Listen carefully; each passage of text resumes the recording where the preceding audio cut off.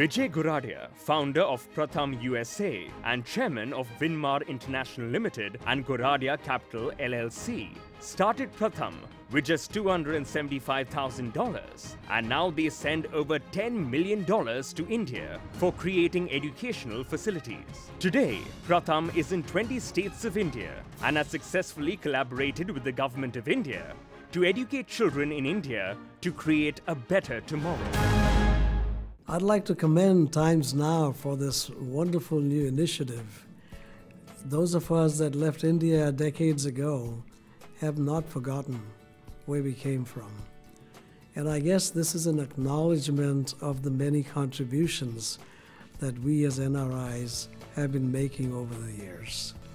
I agreed to support Pratham not only by contributing money, but also by spending a lot of my time in spreading the word within the NRI community and also with mainstream Americans. I feel very fortunate to have been introduced to Pratham and to have had the opportunity to found this wonderful organization in the United States.